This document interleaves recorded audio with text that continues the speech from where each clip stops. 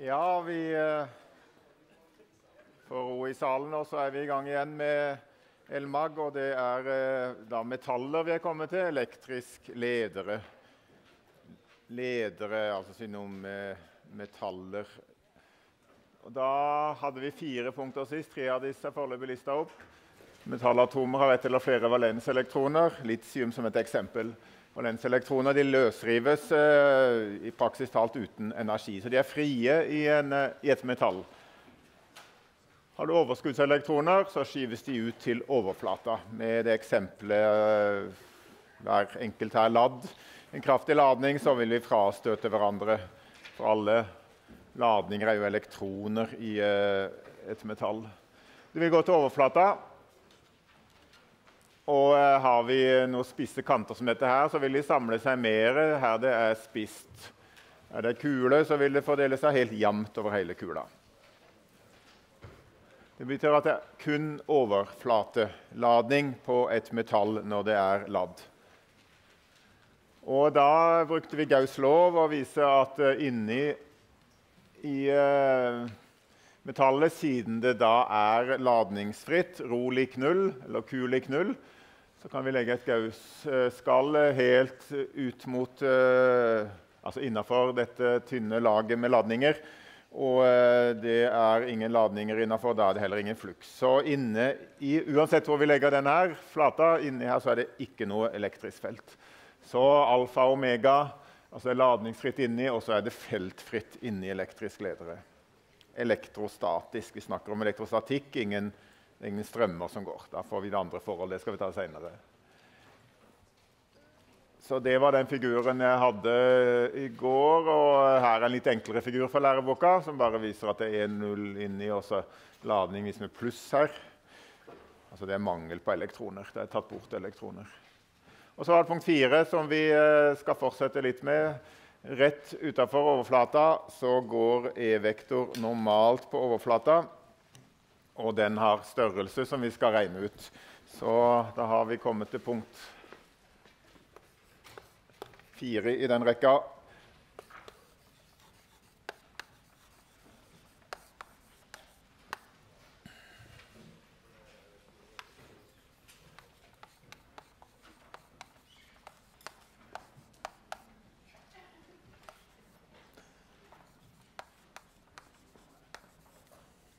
E-vektor normalt til overflata, så, hvis overflata er slik, så går det elektriske feltet normalt og selvsagt da ut, for vi har E lik null inni,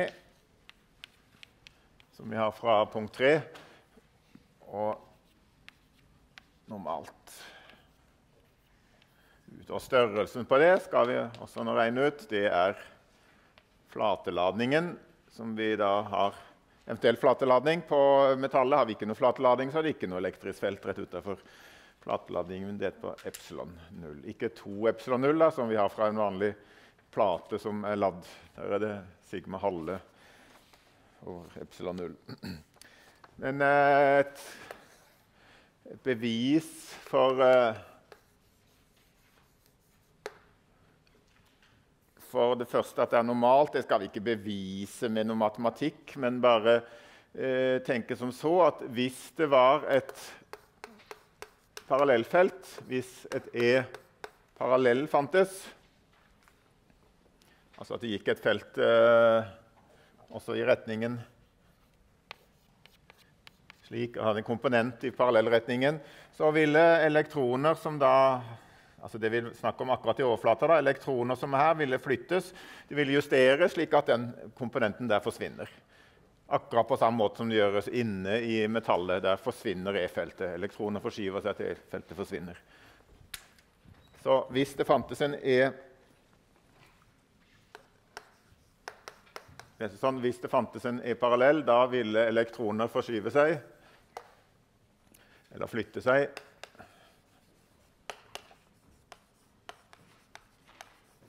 langs overflata. Og inntil er parallell er lik null. Ikke noe mer detaljert bevis enn som så, men vi skal ta beviset av Det var beviset av den parallelle, og så bevis at vi har sigma over epsilon null. Der bruker vi Gauss lov. Først har stadfesta at feltet går normalt ut, så blir det jo nokså lignende hva vi har gjort for uh, ei plate. Vi kan legge inn en Gauss-flate slik. S, som uh, går normalt på flata. Liten Gauss-flate hvis han krummer.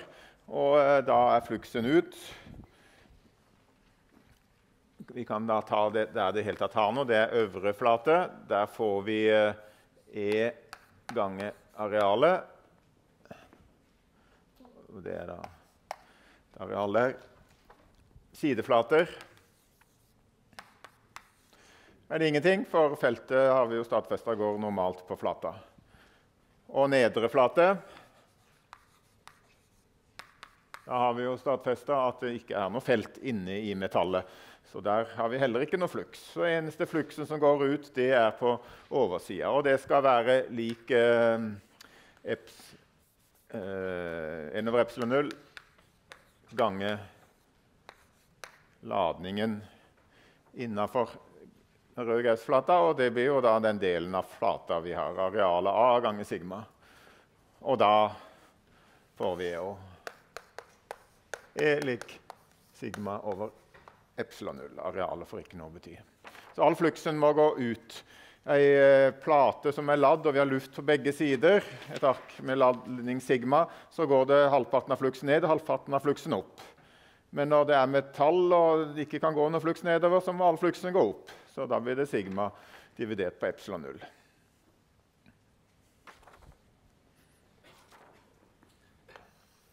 Ja, da har vi de fire punktene der som vi skal bruke i mange forskjellige former eh, når vi har metaller og elektrostatikk, og senere også strømmer og, og magnetfelt inne. Eh, vi kan også ta med en figur her fra læreboka. Eh, hvis vi plasserer en nøytral leder, her markert med et hulrom inni, eh, slik at vi bare har sett skall av leder, så vil også nøytral, altså utgangspunktet ikke ladd i det hele tatt, da vil, eh, kan tenke i første øyeblikket så går elektrisk felt igjennom eh, metallet. Men da vil elektroner forskyve seg. Så Hvis det går et felt mot høyre, som vist her, så vil eh, elektroner forskyve seg mot venstre. Så venstre side blir negativ, og høyre side blir positiv. Og de forskyver seg akkurat så mye til at det blir null felt inni metallet, og også null felt inni i hulrommet inni metallet. Er heller ikke noe felt der. Og så De eh, flytter seg slik at det blir E lik inni. Og så flytter de seg også sånn at det blir et normalt felt eh, på overflata. Så her er det greit, her går feltet rett inn, men også på hjørner så vil det runde av, slik at alle plasser går normalt inn. Så tegner vi mange flere feltlinjer, så må, måtte vi også tegne noen liksom, inn mot her. Så vi har liten ladning, negativ ladning her mindre og mindre om midten, så blir det positivt. Så Det justerer seg raskt. I løpet av 50 sekunder så skjer den reguleringen. Så det vil vi kalle momentant.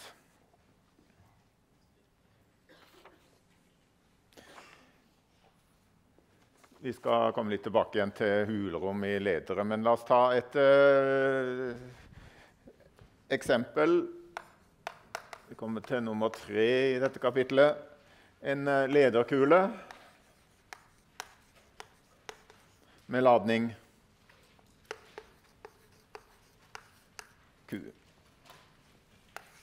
Det aller enkleste. Vi har metallkule som vi eh, påfører en ladning.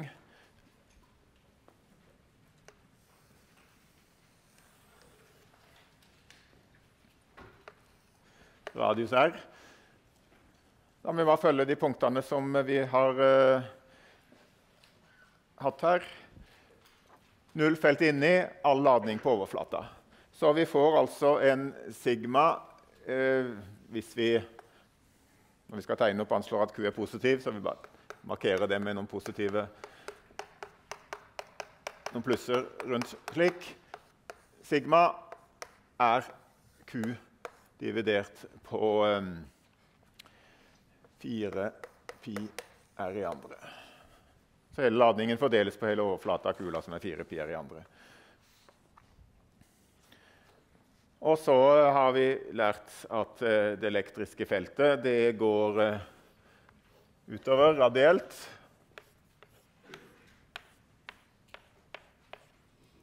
Så feltlinjer slik. Og eh, da kan vi jo ganske raskt si hva er feltet akkurat på overflata der. Jo, for der er feltet lik sigma på epsilon 0, altså akkurat på overflata. Så kan vi sette inn hva vi har der oppe fra. Sigma er q over 4 pi, og da får vi q over 4 pi epsilon 0 r i andre. Det er et velkjent uttrykk. Det er som om alle ladningene var samla i sentrum. Akkurat samme formel. Og det er akkurat det samme feltet vi hadde for ei homogent ladd kule når vi var utafor overflata. For der er også som eh, alle ladninger er samla i sentrum. Så samme hva vi har her, og hvordan ladningen er fordelt, bare den er symmetrisk fordelt på kula. Så vi er kommet en nanometer utafor overflata. Altså fra overflata ut så er feltet akkurat som om all ladningen var samla i sentrum. Det gjelder også her. Så da kan vi jo spandere en uh, skisse av dette under. Så da regner vi ikke noe mer på det utafor. Det blir som punktladning. Og da vi R, R og E. Vi kan sette R der, da, for feltet er jo der radielt ute. Vi har kun et radielt felt ER gang R hatt. Eh, her ute så vil det gå som eh, R i minus andre. Så punktladning. Akkurat på overflata er det da Q og 4 pi epsilon 0 er stor R i andre. Og inni er det null. Så slik, og så hopper det opp og går ned. Så det er ikke kontinuitet i elektriske feltet. Det gjør et hopp, og det gjør det ved alle metalloverflater hvor det er ladning. Det gjør det ved alle alle flateladninger, så gjør det elektriske feltet et hopp. Så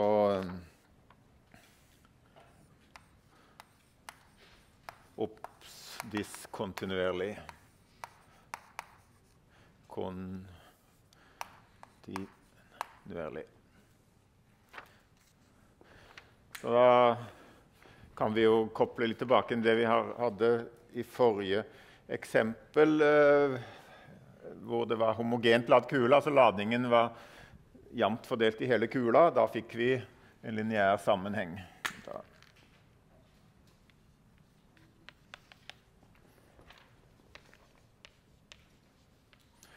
Homog, homogen fordeling av ladningen. Da gikk det slik. Og så kunne vi jo også være for moro skyld, hvis dere ville tegne på en fortsettelse av den linja der oppover. Det er om ladningen var samla i punktet i sentrum.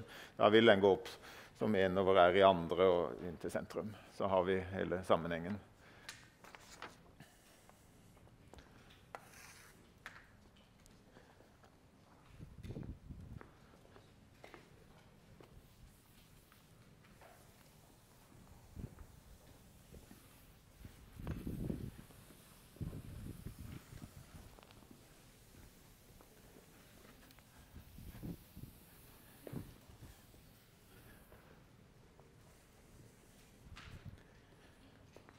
skal ta et eksempel til, litt, litt mer avansert. Men uh, noen hender, noen som lurer på noe? Da tar vi uh, det neste. Vi skal komme tilbake til den figuren vi hadde der. Da skal vi ha en lederkule som, uh, samme som her, som er ladd ku. Men så plasserer vi et lederkuleskall rundt det, konsentrisk samme sentrum, som er nøytralt. Hva skjer da? Jo, jeg har gitt mye av løsningen allerede her med å tegne opp minuser og plusser. Det er jo veldig likt det jeg viste på den foregående figuren, hvor eh, ladningen forskjøv seg i den nøytrale metallbiten, slik at det blir E lik null inni. Og slik blir det også her. Det blir eh, null felt inne i tror jeg peker med en null felt inne her, selvsagt, men også inni metallet her. Og det gjør det ved at det elektriske feltet som var der, det trekker da positivladninger ut, dvs. Si elektroner inn. Og det er akkurat så mye til at det blir feltfritt inni metallet. Hvis ikke det var feltfritt lenger, så ville det enda være en ny kraft på frie valenselektroner, og det ville justere seg. Så totalt sett det var og det forblir nøytralt etter kuleskallet, mens eh, kula i sentrum den eh, har og forblir med ladningen Q. Og Så skal vi se hva blir feltet, og det skal vi ikke trenge å regne så veldig mye på det heller.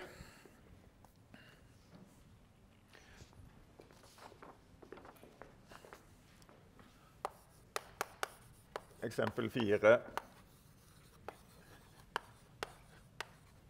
Lederkule pluss kuleskall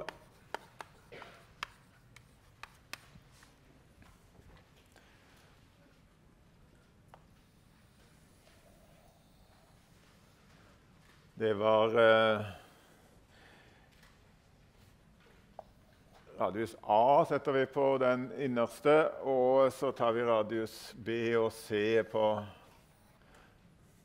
ja, Nå skal jeg tegne litt under her, så det bør litt, litt raus i størrelsen.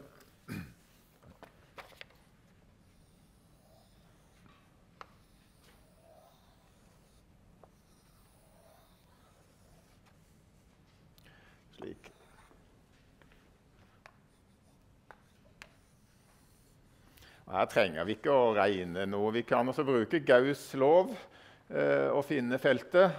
Eh, før jeg viser det, så kan vi jo ta resultatet, egentlig.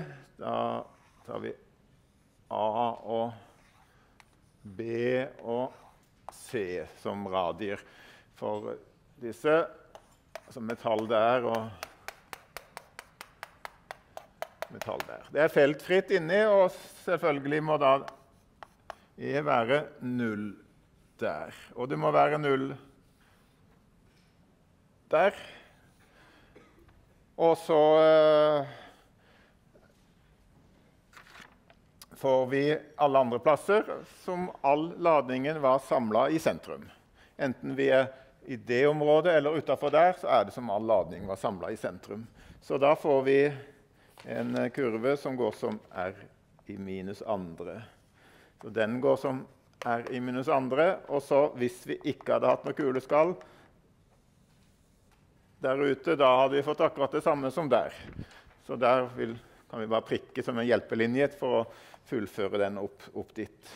Og så går den ned til null. Så vi får en diskontinuitet der og der og der.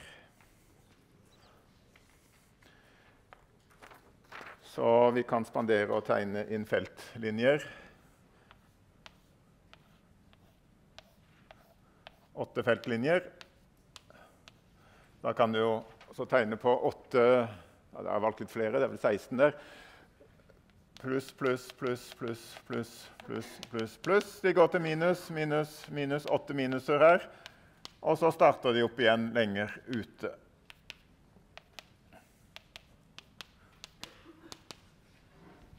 En, to, tre, fire, fem, seks, sju, åtte alle normalt ut.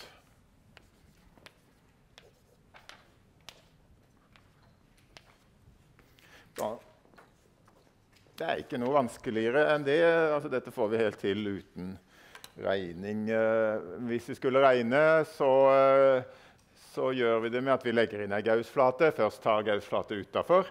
Eh, og det er så enkelt, for da har vi fluksene 4 pi r i andre ganger E-feltet. Og ladningen innafor, det er Q. Det er Q som er på den innerste. Det har ikke noe bety om det er fordelt på eh, skallet utafor der. Vel å merke at det er symmetrisk fordelt, og det blir det når det er symmetri i geometrien her. Så kunne vi lagt ei gaussflate inni, det metallskallet. Da stemmer også gausslov. Det skal ikke gå noe fluks der.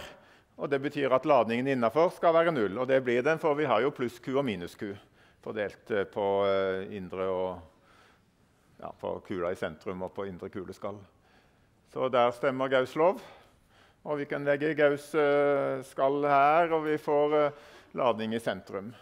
Så feltet mellom indre og ytre indre kule og kuleskalle det bryr seg ikke noe om egentlig om det er noe kuleskall lenger ute. Vi bruker Gauss lov der, så trenger vi ikke å bry oss om feltet lenger ute. for det er også nøytralt. Og så kan en jo lage seg vanskeligere oppgaver hvor eh, kuleskallet her ute er ladd. og Det er typisk en øvingsoppgave dere får. Så ladning der, og så har du annen ladning her. altså Nettoladning som ikke er null. Det blir ikke så veldig mye vanskeligere enn dette. her. Bare passe på at da får vi eh, eh, større felt utafor enn vi hadde hatt om vi hadde hatt nøytralt. Men ja, alt samme hvor mye ladning du har på denne her, altså vi, her, Hvis du legger på positiv ladning på det kuleskallet der, så vil all den positive ladningen legge seg på utsida. All negativ ladning vil uh, legge seg på innsida. For det vil trekke seg etter det elektriske feltet fra sentrum. Ja, det er greit, dette her? Spørsmål her?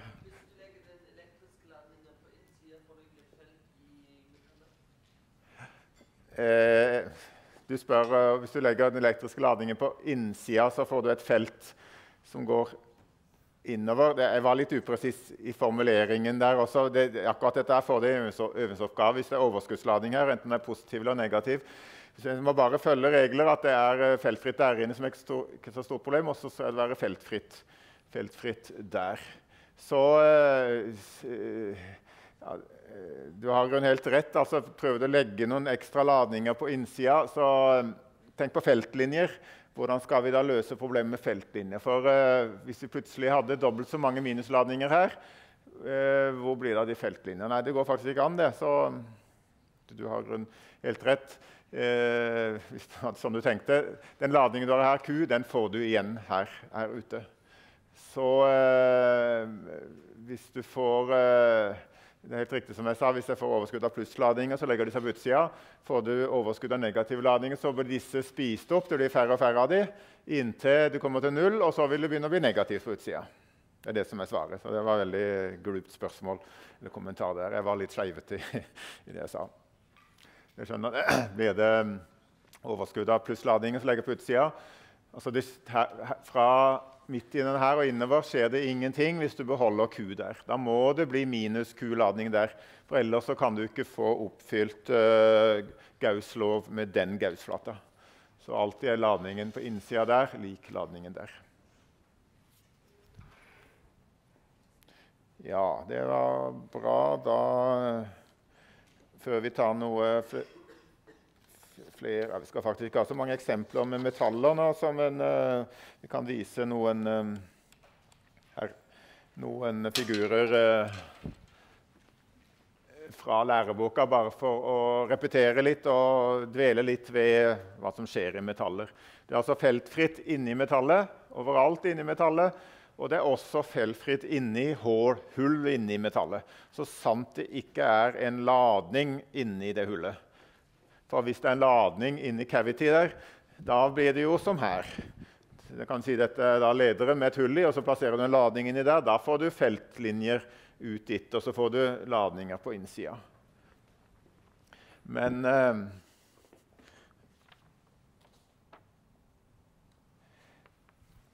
Vi kan skrive kort opp E er lik null i, ledere og i ladningsfrie hulrom. Jeg kan presisere litt det punkt fire. Da tar vi hulrom også.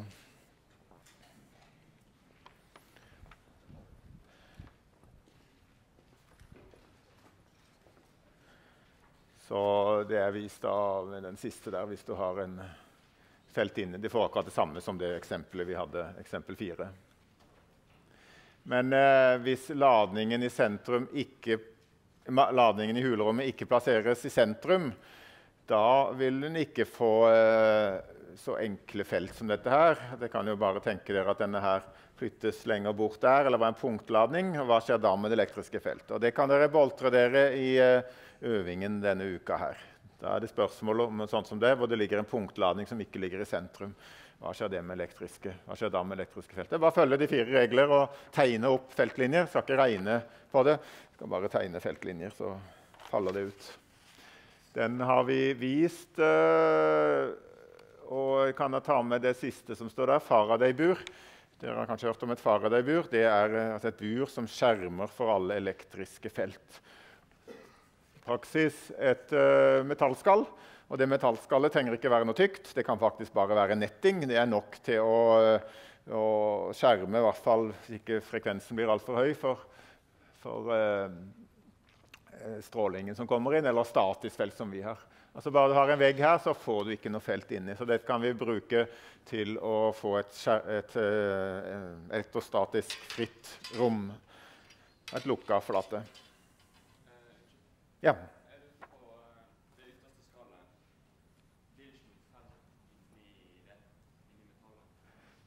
Ja, Han spør om ikke det blir noe felt på eksempel 4 her. Om ikke blir noe felt inni metallet her. Nei, Det ville stride mot uh, regelen. Det er bombefast at det er E lik null inni i metaller. Så hvis du får en løsning hvor det blir det, så er det feil. Men Hvilke argumenter har du for å ville ha felt her inne? for å...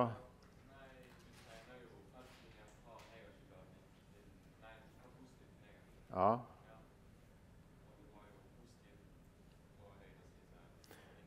ja. Du sier du ville ha noe mellom positiv og negativ der. Men eh, regelen for feltlinjer og alt dette her stemmer overens. Vi har lært for feltlinjer som også stemmer med Gauss lov. Feltlinjer går fra kilder som er pluss, til sluker minus. Så den, den havner i sluken der. Så da kan ikke den eh, komme en ny feltlinje inn til den sluken der. For den, den er brukt som sluk for feltlinja som kommer innifra. Og samme her. Så eh, det blir bare den nye plussen der som er en ny kilde. Og den feltlinja kan ikke gå innover, for der skal E være lik null, så den må gå ut. Så hvis du tenker at du skal ha en forbindelseslinje derifra til ditt Men da, eh, da blir det to feltlinjer ut fra den plussen. Og vi har valgt, som det er valgt her, er det bare én feltlinje fra hver pluss og hver minus. Så da vil ikke det gå opp.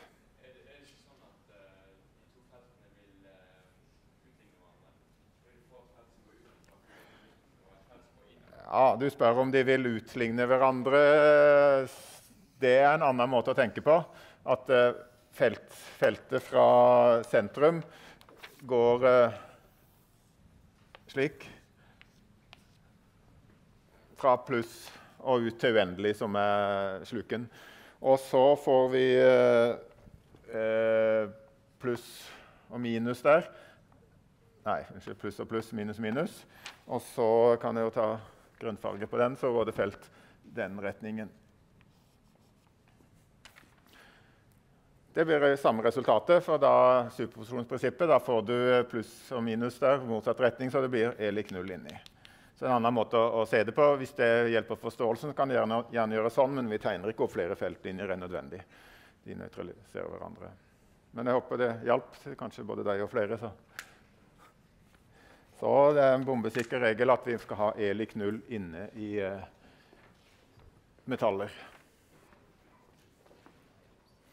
Eh, det er en måte, på en måte fint å tenke på den måten her, for det, det, er sånn det starter opp det hele. Det går et felt igjennom metallet, og så vil uh, elektroner Det er jo bare snakk om et syltynt lag. Det, det ytterste laget, eller Alle elektroner forskyver seg da en, en tidels nanometer utover, som går lynkjapt altså størrelsesorden 10 minus 15 sekund. Så da blir det nøytralisert.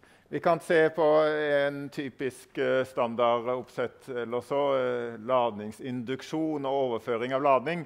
Ofte med en sånn bøtte, da, metallbøtte og en ladning en putter ned i bøtta. Eh, hva skjer da? Altså Ladningen ikke ta den til veggen foreløpig, bare holde den midt nedi bøtta. Jo, da får vi eh, akkurat det samme som vi eh, hadde på det eksempelet der borte. Eh, det blir ladningsforskyvninger på ytre skalle, altså på bøtteveggen. Her er det også satt på et lokk på toppen for å få ei lukka flate, akkurat som her. Så innersida blir negativt ladd, akkurat like mye negativt ladd totalt sett som kula i midten. Og ytterflata får akkurat like mye positiv ladning. Dette kalles ladningsinduksjon. Det induseres ladning. Og det er en metode som eh, prinsippet brukes for å måle elektrostatiske ladninger. ta et viserinstrument og slikt. Men så kan en gå videre, la den kula der legge seg ned på metallet. Og øh, hvis det er metallkulen innerst også, slik at alle ladning ledes veldig godt ut Har vi en ballong for eksempel, som jeg har vist med å gni her, så er det veld veldig vanskelig å bli kvitt ladninger på ballong, for de vil ikke vandre rundt ballongveggen. Men var det en metallkule, så vil alle ladninger øh, nøytraliseres. Og da ser dere det er minusladninger på innsida. Samme som her. Min her var det pluss og minus slik. da. De vil, hvis det blir kontakter mellom disse, så vil de nøytraliseres. Da forsvinner feltet her, men utafor blir det akkurat det samme. Så veggen utafor blir da positiv, som den var like før. Men i praksis kan vi jo si at ladningen fra den kula pluss er da overført til ytterveggen på uh, bøtta.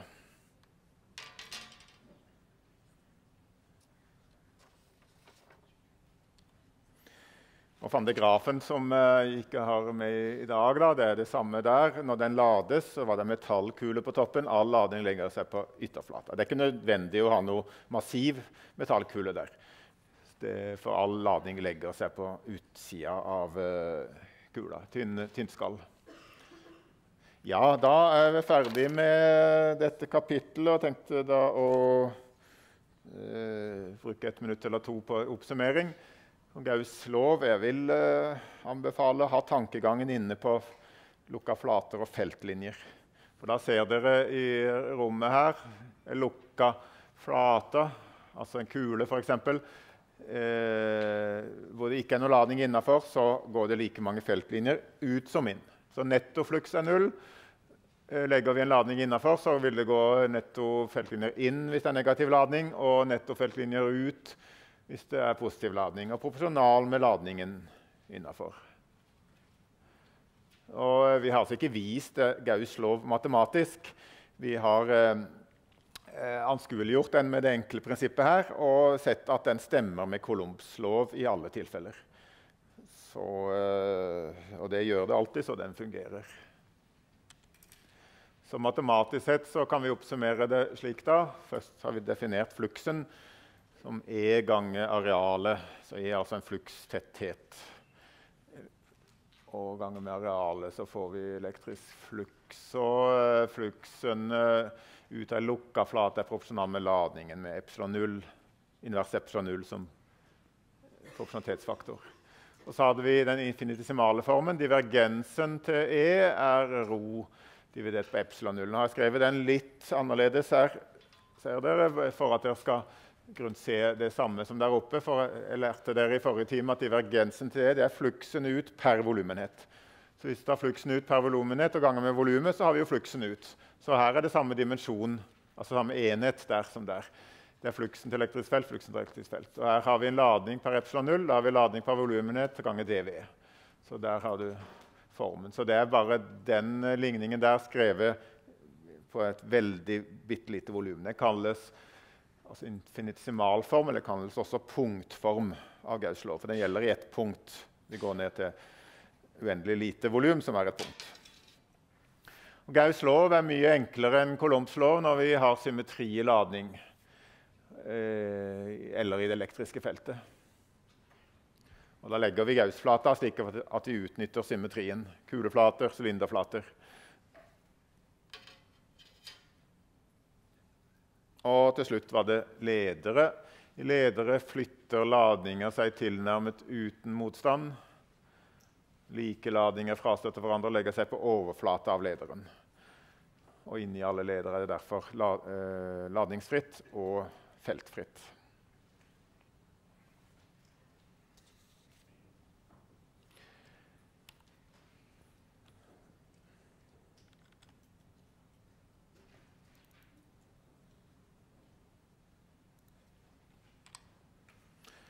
Da er det potensiell energi. og Dere kan jo tenke litt på det som står her.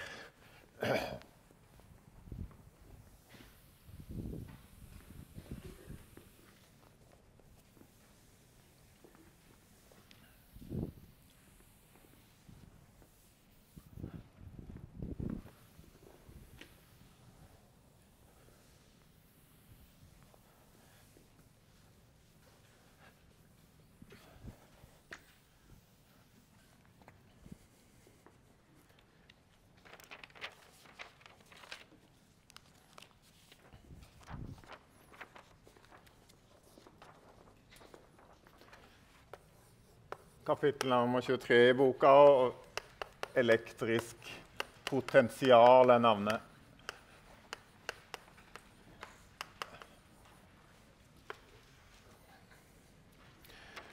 Elektrisk potensial det er, eh, knytta til elektrisk potensiell energi. Så vi må først lære om elektrisk potensiell energi. Og eh, at det er potensiell energi, det eh, viser jo dette her. Altså, dette er kanskje kuler som er mindre enn én en kolom, da, men eh, hvis du har en kule som er ladd og du har det veldig nærme og slipper den ene, så vil den fyke ut med stor hastighet. Og den hastigheten den får halve en vei andre, det er den potensielle energien den har. Og eh, Apropos eh, potensiell energi, den energien den har pga. at to ladninger er nærme hverandre, det har den fått når vi bygger opp ladningen. Som eh, kan være da, kan du tenke på den enkolompskula igjen. Skal dere komme nærme hverandre, så må dere gjøre en jobb. For det er stadig en kraft dere må jobbe med eh, fra gulvet. Og kraft ganger retning, eh, kraft ganger strekning er eh, arbeidet. Så potensiell energi er her, som det er mekanikken, det er eh, definert ved det arbeidet vi må gjøre for å komme til den stillingen vi har. Så det som en påminnelse på det. Og eh, det vi skal ta opp, da Vi skal altså først definere elektrisk energi, potensiell energi. og velger å bruke symbolet U for uh, potensiell energi. For det er det som brukes både læreboka, er veldig vanlig å bruke. Og så skal vi definere potensialet. Det kan jo gi svar allerede. Det er potensiell energi per ladning. Det er ikke noe vanskeligere enn det. Så har vi lært det første, så er det ikke vanskelig med potensialet. Symbol V. Potensialforskjell i kretsteknikk det kaller vi spenning. Så elektriske spenningen er et potensial i volt. Så skal vi se på ekvipotensialflater. Lik potensial på hele flata. Og eh, vi skal se sammenhengen mellom potensial og elektriske feltet. Og konklusjonen på hele kapitlet i hvert fall en konklusjon er at uh, for å finne det elektriske feltet rundt ladninger så er det veldig mange ganger lettere å regne ut potensialet først, og så regne ut det elektriske feltet fra potensialet. Så vi skal drilles i å finne uh, det elektriske feltet fra potensialet. Eller motsatt, vi skal kunne finne potensialet fra det elektriske feltet. Og det er det første vi skal starte med. For definisjonen av eh, elektrisk potensiell energi det er fra feltet. Så eh,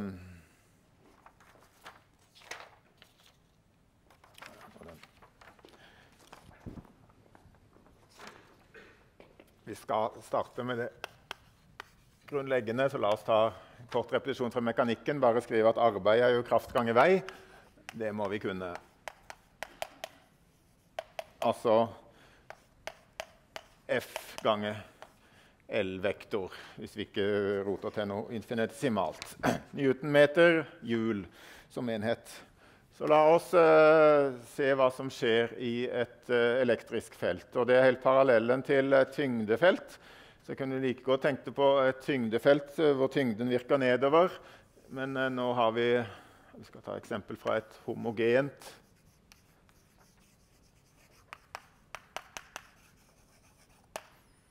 i felt. Og tegner inn uh, dette i et aksesystem. Eller egentlig er det bare y-en vi er interessert i, så jeg setter ikke engang x på her. For y hvor vi har en, et nullnivå. En ladning eh, Q Tenk på den som positiv, men Q inneholder også fortegnet. Hvis vi da har et elektrisk felt her, som vi tegner i negativ retning, så vil denne ladningen her påvirkes av en kraft som går nedover. F-vektor er Q ganger E-vektor. Og nå har jeg valgt å tegne E-vektor nedover, så da kan vi jo ta med enhets... Uh, vektor i y-retning. Og da får vi minus q ganger e ganger j hatt. Og e er da eh, absoluttverdien av, eh, av e. Så hvis eh, det ikke er noe som holder igjen, så vil jo denne da falle ned, akkurat som den faller i tyngdefeltet. og si at den da vil falle ned til bakken eller et eller annet plate som den stopper på, eller, eller falle en lengde L-vektor. Og siden dette går nedover, så har jeg også tatt minus på den L ganger J hatt. Det er litt unødvendig å definere retningen sånn, men jeg har gjort det, for da kan jeg tenke parallellen til tyngdefeltet. Da brukte jeg akkurat samme eh, Y-retning og fortegnsregler. Jo, når denne faller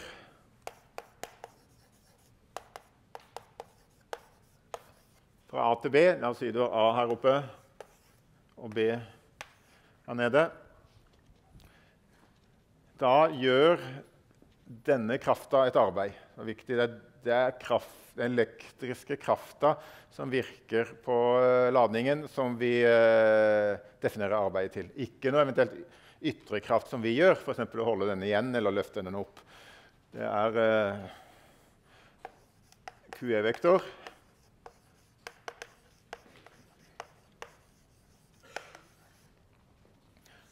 Gjør arbeid.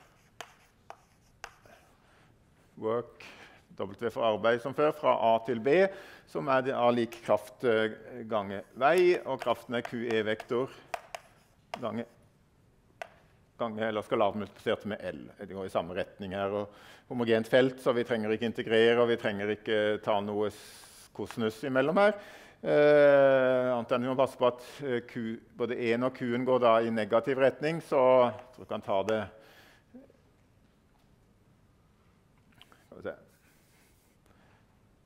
QE-vektor er lik minus QEJ-hatt, og L-vektor var minus LJ-hatt.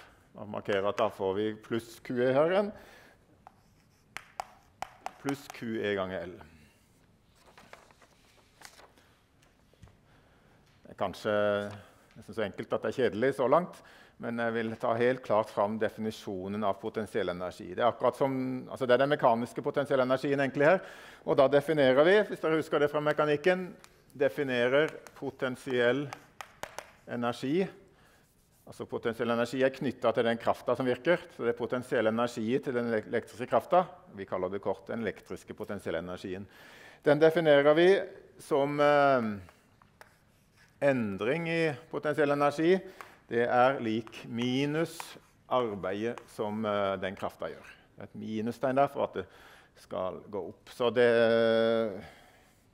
ja, Jeg kunne satt AB på den også, men la oss presisere det. Så den endringen er da her UB minus UA, slutt minus start.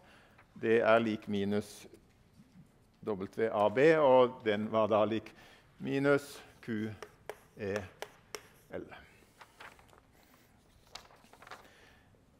Og der tror jeg vi Så minus QEL, men den er lik den igjen, så for å få oss til definisjonen med vektortegn, så beholder vi vektorene der.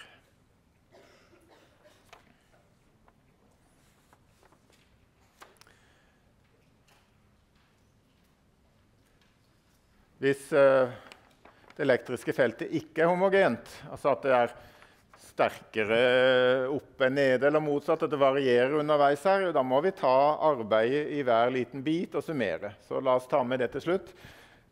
For ikke homogent E-felt så må vi integrere. Og da får vi at UB minus UA er lik altså Passe på det minustegnet som dukker opp her. Pga. definisjonen av potensiell energi er minus arbeidet som elektrisk kraft gjør. Og så må vi summere fra A til B av Q, og Q-en kan vi jo tillate oss å sette utafor, for den, den, er konstant. E-vektor prikk DL-vektor, eller DS, altså den retningen vi går. Da har vi fått en grunnleggende definisjon av potensiell energi for det elektriske feltet. Kort sagt, kort sagt elektrisk potensiell energi. Nummer 23.2, eller iallfall tilnærmet 23.2, han eh, Jeg tror man ser på 23.2 pluss 23.1 i læreboka, så får han den ligningen der. Ja, Da passer det akkurat med pause, så vi slapper av litt før vi går videre.